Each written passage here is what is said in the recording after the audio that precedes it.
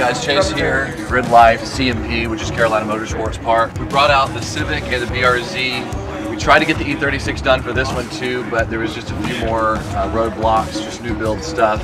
Overall, this is our first Gridlife, figuring out the right things to bring to be able to, to have drivers finish their days, the right things to sell to guys, giveaways, and all that stuff. So we're just kind of figuring it out. Overall, a very successful weekend. Very happy to be here. Happy to have Gridlife help us out. We got to talk to all those guys. We're really excited about the future. Just, we're going to be at all the Gridlife festivals, and we'll see you out there.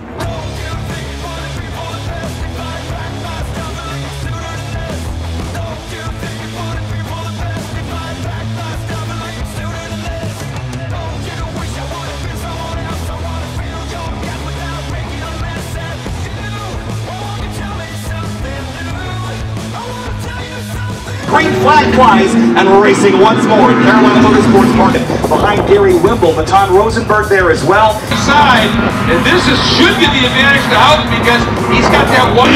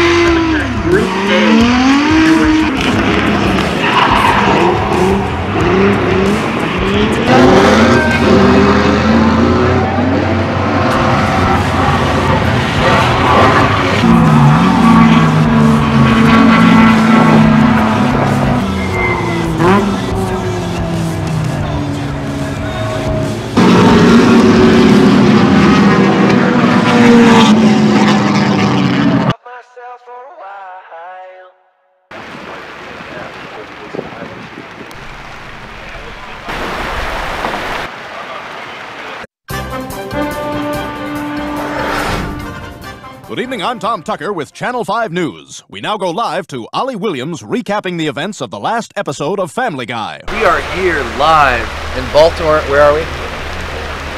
At- where are we? Kershaw, South Carolina.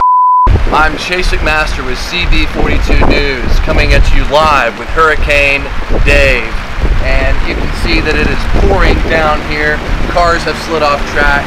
Please stay safe and remember, It's raining sideways! this is horrible.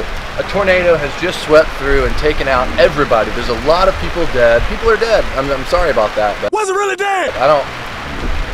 So back to you, somebody.